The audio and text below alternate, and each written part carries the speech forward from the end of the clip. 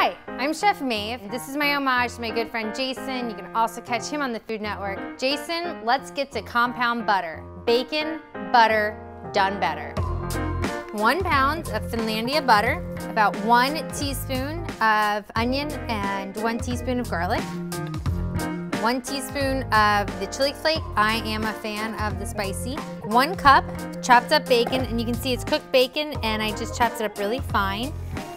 And we're just gonna mix it till we see it all become a nice big happy family. You certainly could let it chill. And when you let it chill, the flavor develops a bit more, but I like mine nice and soft and ready to go. So these are gorgeous buttermilk biscuits, and then you just, you smear bacon and butter makes better butter better. Dig it.